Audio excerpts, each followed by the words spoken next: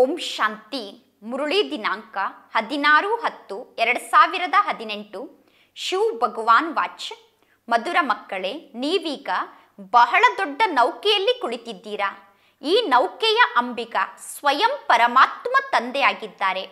ಪರಮಾತ್ಮ ತಂದೆ ಈ ಸಂಗಮ ಯುಗದಲ್ಲಿ ಸ್ವಯಂ ಅಂಬಿಕ ಆಗಿ ಈ ಸೃಷ್ಟಿಗೆ ಬಂದಿದ್ದಾರೆ.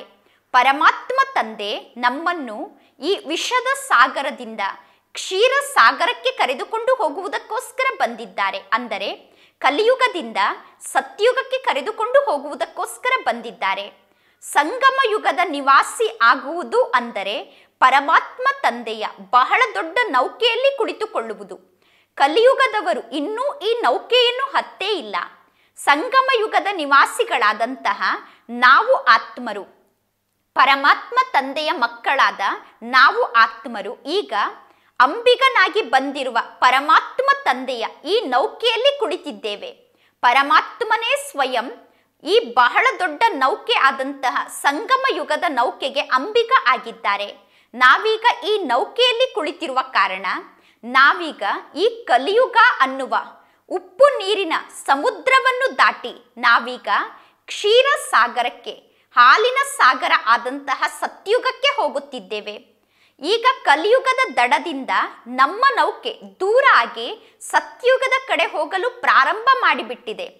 ಹೇಗೆ ಜಗತ್ತಿನ ನೌಕೆಗೆ ನದಿಯಲ್ಲಿ ಸಾಗಬೇಕು ಅಂದರೆ ಆ ನೌಕೆಗೆ ಕಟ್ಟಿರುವ ಹಗ್ಗವನ್ನು ಬಿಚ್ಚಬೇಕು. ಹಾಗೆ ಈಗ ನಮ್ಮ ಜೀವನದ ನೌಕೆ ಏನು? ಕಲಿಯುಗ ಅನ್ನುವ ಅನೇಕ ಬಂಧನಗಳ ಹಗ್ಗದಲ್ಲಿ ಬಂಧಿತ ಆಗಿತ್ತು ಪರಮಾತ್ಮ ತಂದೆ ಬಂದು ನಮ್ಮ ಜೀವನ ಅನ್ನುವ ನೌಕೆಯನ್ನು ಈ ಬಂಧನ ಅನ್ನುವ ಹಗ್ಗದಿಂದ ಮುಕ್ತ ಮಾಡಿದ್ದಾರೆ. ನಾವೀಗ ಕಲಿಯುಗದ ಬಂಧನದಿಂದ ಮುಕ್ತಾಗಿ ನೌಕೆಯಲ್ಲಿ ಕುಳಿತು ಸತ್ಯುಗದ ದಡಕ್ಕೆ ಹೋಗುತ್ತಿದ್ದೇವೆ, ಕ್ಷೀರ ಸಾಗರಕ್ಕೆ ಹೋಗುತ್ತಿದ್ದೇವೆ. ಅಂಬಿಗ ಆದಂತಹ ಪರಮಾತ್ಮ ನಮ್ಮನ್ನು ಬಹಳ ಸುರಕ್ಷಿತ ರೂಪದಲ್ಲಿ ಸತ್ಯುಗಕ್ಕೆ ಕರೆದುಕೊಂಡು ಹೋಗುತ್ತಿದ್ದಾರೆ. ಇಂದಿನ ಪ್ರಶ್ನೆ ಆಗಿದೆ, ಮಕ್ಕಳಿಗೆ ವಿಶೇಷವಾಗಿ ಯಾವ ಮಾತಿನಲ್ಲಿ ಸುಸ್ತಾಗುತ್ತದೆ? ಸುಸ್ತಾಗಲು ಕಾರಣ ಏನಾಗಿದೆ? ಪುರುಷಾರ್ಥ ಮಾರ್ಗದಲ್ಲಿ ನಮಗೆ ಏಕೆ ಸುಸ್ತಾಗುತ್ತದೆ? ಸುಸ್ತಾಗಲು ಕಾರಣ ಏನು? ಉತ್ತರದಲ್ಲಿ ಪರಮಾತ್ಮ ತಂದೆ ತಿಳಿಸುತ್ತಾರೆ, ಮಕ್ಕಳಾದ ನೀವು ಈ ಪುರುಷಾರ್ಥ ಮಾರ್ಗದಲ್ಲಿ ನಡೆಯುತ್ತಾ ನಡೆಯುತ್ತಾ ನೆನಪಿನ ಯಾತ್ರೆಯನ್ನು ಮಾಡುವ ಮಾತಿನಲ್ಲಿ ಸುಸ್ತಾಗಿ ಬಿಡುತ್ತೀರಾ? ನಾವೀಗ ಪರಮಾತ್ಮ ತಂದೆಯನ್ನು ನೆನಪು ಮಾಡಬೇಕು. ನಿರಂತರ ನೆನಪಿನ ಯಾತ್ರೆಯಲ್ಲೇ ಇರಬೇಕು. ಈ ಯಾತ್ರೆಯನ್ನು ಮಾಡುತ್ತಾ ಮಾಡುತ್ತಾ ಮಕ್ಕಳಾದ ನೀವು ಸುಸ್ತಾಗಿ ಬಿಡುತ್ತೀರಾ? ಹೇಗೆ ಜಗತ್ತಿನಲ್ಲೂ ಕೂಡ ಸ್ಥೂಲ ತೀರ್ಥಯಾತ್ರೆಗೆ ಹೋಗುತ್ತಾರೆ. ಅವರು ನಡೆದುಕೊಂಡು ಹೋಗುವಾಗ, ನಡೆದು ನಡೆದು ಸುಸ್ತಾದಾಗ ಒಂದು ಕಡೆ ಕುಳಿತು ಬಿಡುತ್ತಾರೆ. ಹಾಗೆ ಈ ಪುರುಷಾರ್ಥ ಮಾರ್ಗದಲ್ಲಿ ನಾವೇನು ಪರಮಾತ್ಮ ತಂದೆಯ ಜೊತೆಗೆ ಬುದ್ಧಿಯೋಗವನ್ನು ಜೋಡಿಸಿ ನೆನಪಿನ ಯಾತ್ರೆಯನ್ನು ಮಾಡುತ್ತಿದ್ದೇವೆ, ಈ ಯಾತ್ರೆಯಲ್ಲೂ ಕೂಡ ಕೆಲವು ಮಕ್ಕಳು ಸುಸ್ತಾಗಿ ಬಿಡುತ್ತಾರೆ. ಸುಸ್ತಾಗಲು ಮುಖ್ಯ ಕಾರಣ ಅಂದರೆ ಸಂಘ ದೋಷ ಅಲ್ಲಿ ಸುಸ್ತಾದರೆ ಸ್ವಲ್ಪ ಹೊತ್ತು ಬಿಟ್ಟು ಪುನಃ ಸ್ಥೂಲ ಯಾತ್ರೆಯನ್ನು ಆರಂಭ ಮಾಡುತ್ತಾರೆ. ಆದರೆ ಇಲ್ಲಿ ನಮಗೆ ಶಾರೀರಿಕ ರೂಪದಲ್ಲಂತೂ ಸುಸ್ತಾಗುವುದಿಲ್ಲ. ಏಕೆಂದರೆ ನಾವಿಲ್ಲಿ ಶಾರೀರಿಕ ಯಾತ್ರೆಯನ್ನು ಮಾಡುತ್ತಿಲ್ಲ. ನಾವು ಮನಸ್ಸಿನ ಯಾತ್ರೆಯನ್ನು ಮಾಡುತ್ತಿದ್ದೇವೆ. ಬುದ್ಧಿಯ ಯಾತ್ರೆಯನ್ನು ಮಾಡುತ್ತಿದ್ದೇವೆ. ಕ್ಷಣದಲ್ಲಿ ಪರಮಧಾಮಕ್ಕೆ ಹೋಗುವಂತಹ ಬುದ್ಧಿಯ ಯಾತ್ರೆಯನ್ನು ಮಾಡುತ್ತಿರುವ ನಾವು, ಈ ಯಾತ್ರೆಯಲ್ಲಿ ಸುಸ್ತಾಗಲು ಕಾರಣ ಏನು ಅಂದರೆ ಸಂಘ ದೋಷ ಯಾವಾಗ ಕೆಟ್ಟ ವ್ಯಕ್ತಿಗಳ ಸಂಘದಲ್ಲಿ ನಾವು ಸಿಕ್ಕಿ ಹಾಕಿಕೊಳ್ಳುತ್ತೇವೋ, ಕೆಟ್ಟ ವ್ಯಕ್ತಿಗಳನ್ನು ನಮ್ಮ ಸ್ನೇಹಿತರನ್ನಾಗಿ ಮಾಡಿಕೊಳ್ಳುತ್ತೇವೋ, ಆ ಕೆಟ್ಟ ವ್ಯಕ್ತಿಗಳ ಸಂಘ ನಮ್ಮ ಜೀವನದಲ್ಲಿ ಈ ಯಾತ್ರೆಯಲ್ಲಿ ನಮಗೆ ಮುಂದೆ ಹೋಗಲು ಬಿಡುವುದಿಲ್ಲ.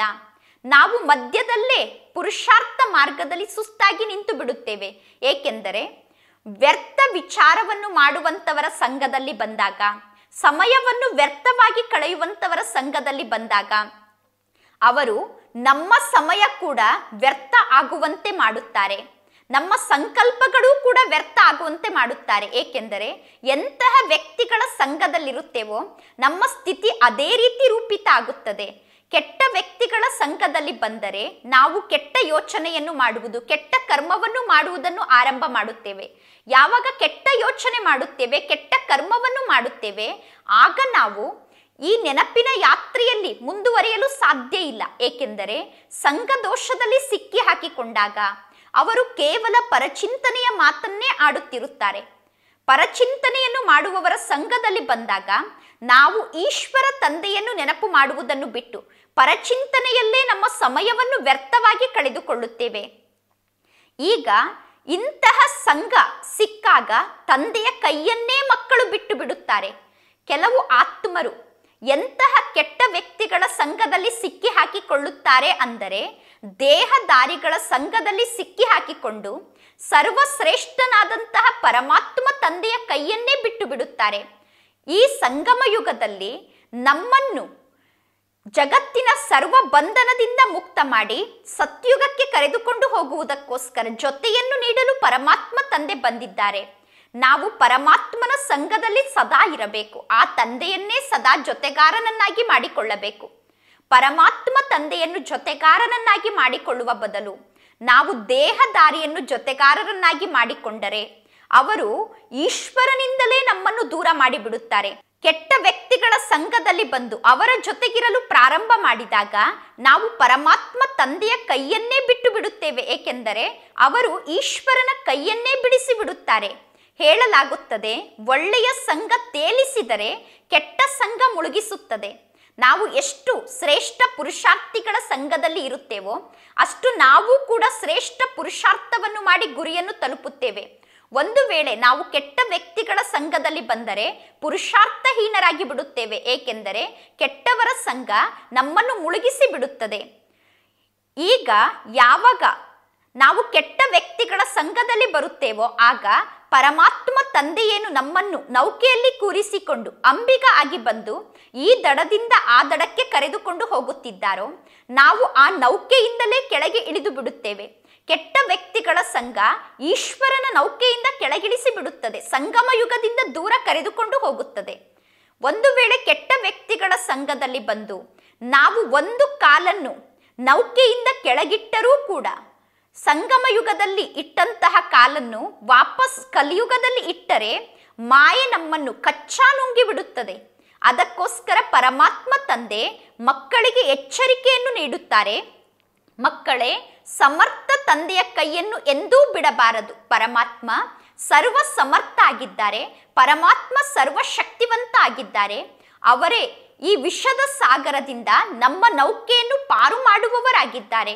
ಅವರು ನಮ್ಮನ್ನು ಕ್ಷೀರ ಸಾಗರಕ್ಕೆ ಕರೆದುಕೊಂಡು ಹೋಗುವುದಕ್ಕೋಸ್ಕರ ಅಂಬಿಗ ಆಗಿ ಬಂದಿದ್ದಾರೆ. ಅಂದ ಮೇಲೆ, ನಾವೀಗ ಆ ಸರ್ವಶಕ್ತಿವಂತ ಸರ್ವ ಸಮರ್ಥ ಆದಂತಹ ಪರಮಾತ್ಮ ತಂದೆಯನ್ನೇ ಜೊತೆಗಾರನನ್ನಾಗಿ ಮಾಡಿಕೊಂಡು ಸದಾ ಆ ತಂದೆಯ ಸಂಘದಲ್ಲೇ ಇರಬೇಕು. ನಾವು ಒಂದು ವೇಳೆ ಪರಮಾತ್ಮ ತಂದೆಯ ಸಂಘದಲ್ಲಿ ಇರುವುದನ್ನು ಬಿಟ್ಟು ದೇಹದಾರಿಗಳ ಸಂಘಕ್ಕೆ ವಶ ಆಗಿಬಿಟ್ಟರೆ, ತಂದೆಯ ಕೈಯನ್ನು ಬಿಟ್ಟರೆ ಮಾಯೆ ನಮ್ಮನ್ನು ನುಂಗಿ ಬಿಡುತ್ತದೆ. ಮತ್ತು ನಾವು ಕಲಿಯುಗಕ್ಕೆ ವಾಪಸ್ ಹೋಗಿ ಬಿಡುತ್ತೇವೆ ಆಗ ನಾವು ಪುರುಷಾರ್ಥದಲ್ಲಿ ಸುಸ್ತಾಗಿ ಕೆಳಗೆ ಬೀಳುತ್ತೇವೆ. ಅದಕ್ಕೋಸ್ಕರ ಎಂದೂ ಪರಮಾತ್ಮ ತಂದೆಯ ಕೈಯನ್ನು ಬಿಡಬೇಕು ಎಂದು ಯೋಚನೆ ಕೂಡ ಸಂಗಮ ಯುಗದಲ್ಲಿ ನಾವು ಮಾಡಬಾರದು. ಏಕೆಂದರೆ ಪರಮಾತ್ಮ ತಂದೆ ಸಿಗುವುದು ಸಂಗಮ ಯುಗದಲ್ಲಿ ಮಾತ್ರ. ಅದಕ್ಕೋಸ್ಕರ ಆ ತಂದೆಯ ಜೊತೆಗೆ ಸದಾ ಕಂಬೈಂಡ್ ಆಗಿ ಪರಮಾತ್ಮ ತಂದೆಯ ಜೊತೆಗೆ ಇರುವ ಅನುಭವವನ್ನು ಮಾಡಬೇಕು. ಆಗ ಪುರುಷಾರ್ಥದಲ್ಲಿ ಸುಸ್ತಾಗುವುದಿಲ್ಲ. ಧಾರಣೆಗೋಸ್ಕರ ಪರಮಾತ್ಮ ತಂದೆ ಈ ದಿನ ನಮಗೆ ತಿಳಿಸುತ್ತಾರೆ, ಸಮರ್ಥ ತಂದೆಯ ಕೈಯನ್ನು ಸದಾ ಹಿಡಿದುಕೊಂಡಿರಬೇಕು. ಪರಮಾತ್ಮ ಇಡೀ ಸೃಷ್ಟಿಯಲ್ಲಿ ಸರ್ವರಿಗಿಂತ ಹೆಚ್ಚು ಸಮರ್ಥ. ಸರ್ವರಿಗಿಂತ ಹೆಚ್ಚು ಶಕ್ತಿಶಾಲಿ, ಏಕೆಂದರೆ ಅವರು ಸ್ವಯಂ ಶಕ್ತಿಯ ಸಾಗರ, ಸರ್ವಶಕ್ತಿವಂತ ಅಂದ ಮೇಲೆ ಅಂತಹ ತಂದೆಯ ಕೈಯನ್ನು ನಾವು ಸದಾ ಹಿಡಿದುಕೊಂಡಿರಬೇಕು. ಸದಾ ಮನಸ್ಸನ್ನು ಒಬ್ಬ ತಂದೆಯ ಜೊತೆಗೆ ಜೋಡಣೆ ಮಾಡಬೇಕು. ನಾವು ನಮ್ಮ ಮನಸ್ಸನ್ನು ನಿರಂತರ ಪರಮಾತ್ಮ ತಂದೆಯ ಜೊತೆಗೆ ಜೋಡಣೆ ಮಾಡಬೇಕು ಅಂದರೆ ಸದಾ ಆ ತಂದೆಯ ಕೈಯನ್ನೇ ಹಿಡಿದುಕೊಂಡಿರಬೇಕು. ಒಂದು ಕ್ಷಣ ಪರಮಾತ್ಮನ ಕೈಯನ್ನು ಬಿಟ್ಟರೂ ಕೂಡ ಅನ್ಯ ವ್ಯಕ್ತಿಗಳು ನಮ್ಮ ಕೈಯನ್ನು ಹಿಡಿದುಕೊಂಡು ಪರಮಾತ್ಮನಿಂದ ನಮ್ಮನ್ನು ದೂರ ಮಾಡಿಬಿಡುತ್ತಾರೆ. ಯಾವ ಕ್ಷಣ ಕೂಡ ನಾವು ಸಂಗಮ ಯುಗದಲ್ಲಿ ಪರಮಾತ್ಮ ತಂದೆಯಿಂದ ದೂರ ಆಗಬಾರದು. ಅದಕ್ಕೋಸ್ಕರ ಮನಸ್ಸು ಆ ಕಡೆ ಈ ಕಡೆ ಅಲೆದಾಡದಂತೆ ನೋಡಿಕೊಳ್ಳಬೇಕು. ಮನಸ್ಸನ್ನು ವ್ಯರ್ಥದಿಂದ ಮುಕ್ತ ಮಾಡಿಕೊಂಡು ಒಬ್ಬ ಪರಮಾತ್ಮ ತಂದೆಯ ಜೊತೆಗೆ ಜೋಡಣೆ ಮಾಡಬೇಕು. ಬೆಳಗ್ಗೆ ಬೆಳಗ್ಗೆ ಅಮೃತ ವೇಳೆಯಲ್ಲಿ ಎದ್ದು ಪರಮಾತ್ಮ ತಂದೆಯ ನೆನಪಿನಲ್ಲಿ ನಾವು ಕುಳಿತುಕೊಳ್ಳಬೇಕು. ಯಾವಾಗ ನಾವು ಅಮೃತ ವೇಳೆಯಲ್ಲಿ ಆ ತಂದೆಯ ಜೊತೆಯ ಅನುಭವವನ್ನು ಮಾಡುವುದಕ್ಕೋಸ್ಕರ ಅಮೃತ ವೇಳೆಯಲ್ಲಿ ಹೇಳುವ ಅಭ್ಯಾಸ ಮಾಡಿಕೊಳ್ಳುತ್ತೇವೋ, ಆಗ ನಾವು ಸದಾ ತಂದೆಯ ಕೈಯನ್ನು ಹಿಡಿದುಕೊಂಡು ಇರುತ್ತೇವೆ. ಮತ್ತು ನಮ್ಮ ಮನಸ್ಸು ಅಮೃತ ವೇಳೆಯಲ್ಲಿ ಪರಮಾತ್ಮ ತಂದೆಯ ಜೊತೆಗೆ ಜೋಡಣೆ ಆದರೆ, ಇಡೀ ದಿನ ಆ ತಂದೆಯ ಜೊತೆಗೆ ಮನಸ್ಸು ಜೋಡಣೆ ಆಗಿರುತ್ತದೆ. ಸೆಕೆಂಡ್ ಪಾಯಿಂಟ್ ಸಂಘ ದೋಷದಿಂದ ನಮ್ಮನ್ನು ನಾವು ರಕ್ಷಣೆ ಮಾಡಿಕೊಳ್ಳಬೇಕು. ಏಕೆಂದರೆ ಕೆಟ್ಟ ವ್ಯಕ್ತಿಗಳ ಸಂಘ ನಮ್ಮನ್ನು ಪುರುಷಾರ್ಥಹೀನರನ್ನಾಗಿ ಮಾಡುತ್ತದೆ. ಕೆಟ್ಟ ವ್ಯಕ್ತಿಗಳ ಸಂಘ ನಮ್ಮನ್ನು ಪಾಪಾತ್ಮರನ್ನಾಗಿ ಮಾಡುತ್ತದೆ. ಕೆಟ್ಟ ವ್ಯಕ್ತಿಗಳ ಸಂಘ ಪರಮಾತ್ಮ ತಂದೆಯಿಂದ ದೂರ ಮಾಡಿಬಿಡುತ್ತದೆ. ಅದಕ್ಕೋಸ್ಕರ ಸಂಘವನ್ನು ಮಾಡುವಾಗ ಬಹಳಷ್ಟು ಎಚ್ಚರಿಕೆಯಿಂದ ಇರಬೇಕು. ಅದರಲ್ಲೂ ಈಗ ನಮಗೆ ಯಾರ ಸಂಘದ ಅವಶ್ಯಕತೆಯೂ ಇಲ್ಲ. ಏಕೆಂದರೆ ನಾವೀಗ ಸದಾ ಪರಮಾತ್ಮ ತಂದೆಯ ಸಂಘದಲ್ಲೇ ಇದ್ದೇವೆ. ಪರಮಾತ್ಮನೇ ಜೊತೆಗಾರನಾಗಿ ಜೊತೆ ನೀಡುತ್ತಿರುವಾಗ ನಮಗೆ ಯಾವುದೇ ದೇಹದಾರಿಗಳ ಸಂಘದ ಅವಶ್ಯಕತೆಯೇ ಇಲ್ಲ ಅನ್ನುವ ಸತ್ಯವನ್ನು ಅರ್ಥ ಮಾಡಿಕೊಂಡು ಕೆಟ್ಟ ವ್ಯಕ್ತಿಗಳ ಸಂಘದಿಂದ ಸ್ವಯಂ ಸುರಕ್ಷಿತರಾಗಿರಬೇಕು. ಕೆಟ್ಟವರ ಸಂಘದಲ್ಲಿ ಬಂದು ಎಂದೂ ಶಿಕ್ಷಣ ಓದುವುದನ್ನು ಬಿಡಬಾರದು. ಕುಸ್ಸಂಗದಲ್ಲಿ ಬಂದು, ಕೆಟ್ಟ ವ್ಯಕ್ತಿಗಳ ಸಂಘದಲ್ಲಿ ಬಂದು ಪರಮಾತ್ಮ ತಂದೆ ಏನು ಶಿಕ್ಷಣವನ್ನು ಓದಿಸಲು ಬಂದಿದ್ದಾರೋ, ಆ ಶಿಕ್ಷಣವನ್ನು ಓದುವುದನ್ನು ಯಾವ ಕಾರಣಕ್ಕೂ ಬಿಡಬಾರದು. ಪ್ರತಿದಿನ ಆ ತಂದೆ ಓದಿಸುವ ಶಿಕ್ಷಣವನ್ನು ಅವಶ್ಯವಾಗಿ ಓದಬೇಕು. ವರದಾನ, ಸೇವೆಯಲ್ಲಿ ಸದಾ ಸಹಯೋಗಿಯಾಗಿ ಸಹಯೋಗದ ವರದಾನವನ್ನು ಪ್ರಾಪ್ತಿ ಮಾಡಿಕೊಳ್ಳುವಂತಹ ವಿಶೇಷತೆಯಿಂದ ಸಂಪನ್ನರಾಗಿ, ಈಗ ನಾವು ವಿಶೇಷತೆಗಳಿಂದ ಸಂಪನ್ನ ಆತ್ಮ ಆಗಬೇಕು. ಅದಕ್ಕೋಸ್ಕರ ಸಂಗಮ ಯುಗದಲ್ಲಿ ನಾವು ಪ್ರಭು ಪರಮಾತ್ಮನ ಸೇವೆಯಲ್ಲಿ ಸದಾ ಸಹಯೋಗಿಗಳಾಗಿ ಆ ತಂದೆಯಿಂದ ಸಹಯೋಗದ ವರದಾನವನ್ನು ಪ್ರಾಪ್ತಿ ಮಾಡಿಕೊಳ್ಳಬೇಕು. ಬ್ರಾಹ್ಮಣ ಜೀವನ ಅಂದರೆ ವಿಶೇಷತೆಯಿಂದ ಸಂಪನ್ನ ಆದಂತಹ ಜೀವನ. ನಾವೀಗ ಸಂಗಮ ಯುಗದ ಬ್ರಾಹ್ಮಣರಾಗಿದ್ದೇವೆ ಅಂದ ಮೇಲೆ ನಮ್ಮ ಜೀವನದಲ್ಲಿ ಒಂದೂ ವಿಶೇಷತೆ ಇಲ್ಲ ಅನ್ನುವ ಶಬ್ದ ನಮ್ಮ ಬಾಯಿಂದ ಎಂದೂ ಬರಬಾರದು. ಏಕೆಂದರೆ ನಮ್ಮ ಜೀವನವೇ ವಿಶೇಷತೆಗಳಿಂದ ಸಂಪನ್ನ ಆದ ಜೀವನ ಆಗಿದೆ. ಬ್ರಾಹ್ಮಣರಾಗುವುದು ಅಂದರೆ ಸಹಜ ಯೋಗಿ ಆಗಿ ಅನ್ನುವ ವರದಾನವನ್ನು ಪರಮಾತ್ಮ ತಂದೆಯಿಂದ ಪ್ರಾಪ್ತಿ ಮಾಡಿಕೊಳ್ಳುವುದು. ನಾವು ಪರಮಾತ್ಮ ತಂದೆಯ ಮೂಲಕ ಸಂಗಮ ಯುಗದಲ್ಲಿ ಸದಾ ಸಹಜ ಯೋಗಿ ಆಗಿರಿ ಅನ್ನುವ ವರದಾನವನ್ನು ಪ್ರಾಪ್ತಿ ಮಾಡಿಕೊಂಡಿದ್ದೇವೆ. ಈ ರೀತಿ ಸಹಜ ಯೋಗದ ವರದಾನ ಬ್ರಾಹ್ಮಣ ಜೀವನದ ಮೊದಲನೇ ವರದಾನ ಆಗಿದೆ. ಜನ್ಮ ಪ್ರಾಪ್ತಿಯಾದ ತಕ್ಷಣವೇ ಪರಮಾತ್ಮ ತಂದೆ ನಮಗೆ ಸಹಜ ಯೋಗಿಗಳಾಗಿ ಅನ್ನುವ ವರದಾನವನ್ನು ನೀಡಿದ್ದಾರೆ. ಈ ವರದಾನವನ್ನು ಸದಾ ಬುದ್ಧಿಯಲ್ಲಿಟ್ಟುಕೊಂಡು, ಈ ವರದಾನವನ್ನು ಜೀವನದಲ್ಲಿ ಅಳವಡಿಸಿಕೊಳ್ಳಬೇಕು. ನಾವು ಸಹಜ ಯೋಗಿಗಳಾಗಿದ್ದೇವೆ ಅನ್ನುವ ವರದಾನ ಸದಾ ಬುದ್ಧಿಯಲ್ಲಿರಬೇಕು. ಪರಮಾತ್ಮ ತಂದೆ, ನಾನು ಬ್ರಾಹ್ಮಣ ಆತ್ಮನಾಗಿ ಜನ್ಮ ಪಡೆದುಕೊಂಡ ತಕ್ಷಣ ಸದಾ ಕಾಲಕ್ಕೂ ಸಹಜ ಯೋಗಿ ಆಗಿ ಇರು ಅನ್ನುವ ವರದಾನವನ್ನು ನನಗೆ ಕೊಟ್ಟಿದ್ದಾರೆ. ಅನ್ನುವ ಸ್ಮೃತಿಯಲ್ಲಿ ಇದ್ದು ಜೀವನದಲ್ಲಿ ಸಹಜ ಯೋಗದ ಗುಣವನ್ನು ಧಾರಣೆ ಮಾಡಿಕೊಳ್ಳಬೇಕು. ವರದಾನವನ್ನು ಸ್ಥಿರವಾಗಿ ಇಟ್ಟುಕೊಳ್ಳಲು ವಿಧಿ ಆಗಿದೆ. ಸರ್ವ ಆತ್ಮರಿಗೂ ಕೂಡ ವರದಾನದ ಮೂಲಕ ಸಹಯೋಗವನ್ನು ನೀಡುವುದು ಅಂದರೆ ನಾವೀಗ ಸರ್ವ ಆತ್ಮರ ಸೇವೆಯನ್ನು ಮಾಡಬೇಕು. ಈ ವರದಾನವನ್ನು ಸ್ಮೃತಿಯಲ್ಲಿಟ್ಟುಕೊಂಡು ನಾವೀಗ ವಿಶೇಷತೆಯಿಂದ ಸಂಪನ್ನ ಆತ್ಮ ಆಗಬೇಕು. ವಿಶೇಷತೆಯಿಂದ ಸಂಪನ್ನ ಆಗುವುದೇ ನಮ್ಮ ಬ್ರಾಹ್ಮಣ ಜೀವನದ ಶ್ರೇಷ್ಠ ಗುರಿಯಾಗಿದೆ. ವಿಶೇಷತೆಯಿಂದ ಸಂಪನ್ನ ಆಗುವುದಕ್ಕೋಸ್ಕರ ಸರ್ವರಿಗೂ ನಾವೀಗ ಸಹಯೋಗವನ್ನು ನೀಡಬೇಕಾಗಿದೆ. ಇಂದಿನ ಶ್ಲೋಗನ್ ಆಗಿದೆ ತಮ್ಮ ಮಸ್ತಕದ ಮಣಿಯ ಮೂಲಕ ಸ್ವಯಂನ ಸ್ವರೂಪ ಮತ್ತು ಶ್ರೇಷ್ಠ ಗುರಿಯ ಸಾಕ್ಷಾತ್ಕಾರವನ್ನು ಮಾಡಿಸುವಂತಹ ಲೈಟ್ ಹೌಸ್ ಆಗಬೇಕು. ನಾವೀಗ ಬೆಳಕಿನ ಗ್ರಹ, ಅಂದರೆ ಲೈಟ್ ಹೌಸ್ ಆಗಿ ಎಲ್ಲರಿಗೂ ಕೂಡ ನಮ್ಮ ಮಸ್ತಕದ ಮೂಲಕ ನಮ್ಮ ಸ್ವರೂಪದ ಸಾಕ್ಷಾತ್ಕಾರವನ್ನು ಮಾಡಿಸಬೇಕು ಮತ್ತು ಶ್ರೇಷ್ಠ ಗುರಿಯ ಸಾಕ್ಷಾತ್ಕಾರವನ್ನು ಮಾಡಿಸಬೇಕು. ನಾವು ಆತ್ಮ ಜ್ಯೋತಿ ಸ್ವರೂಪ, ನಾವಾತ್ಮರು ಪರಮಾತ್ಮ ತಂದೆಯ ಸಂತಾನ, ನಾವಾತ್ಮರು ದೇವಾತ್ಮರಾಗಿದ್ದೇವೆ. ಮೊದಲು ಆಗಿದ್ದೆವು, ಈಗ ಪುನಃ ದೇವಾತ್ಮರಾಗಬೇಕು ಅನ್ನುವ ಸ್ವರೂಪದ ಸಾಕ್ಷಾತ್ಕಾರವನ್ನು ನಮ್ಮ ಮಸ್ತಕದ ಮಣಿಯ ಮೂಲಕ ಎಲ್ಲರಿಗೂ ಮಾಡಿಸಬೇಕು. ಮತ್ತು ಶ್ರೇಷ್ಠ ಗುರಿ, ದೇವತೆ ಆಗುವಂತಹ ಗುರಿ ನಮ್ಮ ಚೆಹರೆಯ ಮೂಲಕ ಅನ್ಯರಿಗೆ ಸ್ಪಷ್ಟವಾಗಿ ಕಾಣಿಸಬೇಕು. ಈ ರೀತಿ ಎಲ್ಲರಿಗೂ ಕೂಡ ಶ್ರೇಷ್ಠ ಜೀವನದ ಗುರಿಯ ಸಾಕ್ಷಾತ್ಕಾರ ಮಾಡಿಸುವಂತಹ ಬೆಳಕಿನ ಗ್ರಹ ನಾವೀಗ ಆಗಬೇಕಾಗಿದೆ. ಒಳ್ಳೆಯದು. ಓಂ ಶಾಂತಿ.